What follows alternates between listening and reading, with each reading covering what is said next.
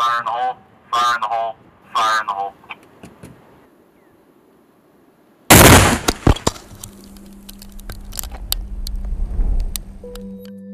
The explosive ordnance disposal job field is a master of nothing, jack of all trades.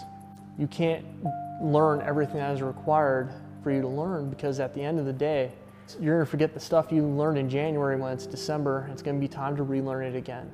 And that appealed to me greatly. I enjoyed the challenge every day of coming to work as a EOD technician and having to figure out new problems, uh, find new solutions to things that people haven't seen before, or deal with new situations that people haven't dealt with before. The idea that I'm going to get something new, something different, I'm always going to be learning, truly appealed to me.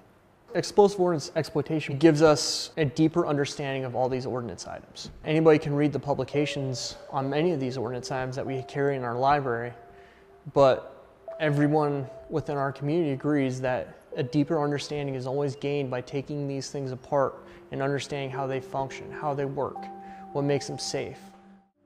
A uniting characteristic that I've noticed with a lot of EOD technicians in my time is that we are an interesting bunch because of the way that you have to think about this job.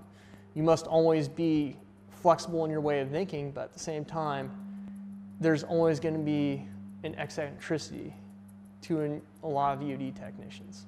You learn in general that when you tell somebody you're going to go do explosives work, it takes a very interesting person to say that's a good idea. I want to I want to go play with that.